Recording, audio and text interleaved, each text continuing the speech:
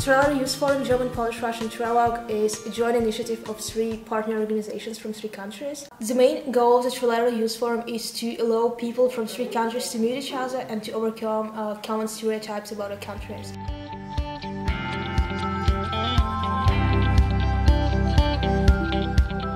The target group of a youth forum are youth from three countries, uh, aged 18 to 26, uh, who strive to work for the, for the better relations between Germany, Poland, and Russia.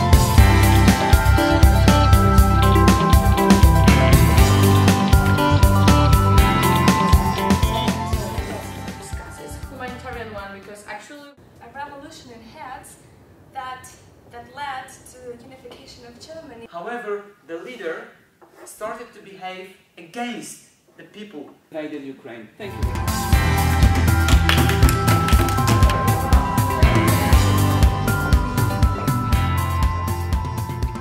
The program of Trilateral Youth Forum varies each year and we try to incorporate uh, visits to various historical and cultural landmarks of the host city.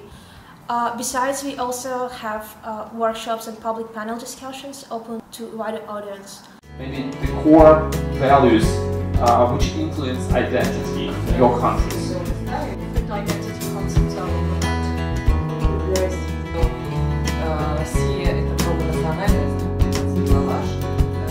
Difficult for our history, for example, now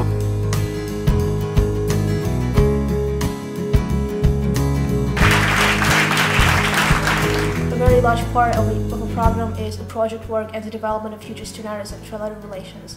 The whole day of the, of the forum is devoted to projects and scenarios and later participants present their ideas to the experts during the public panel discussion.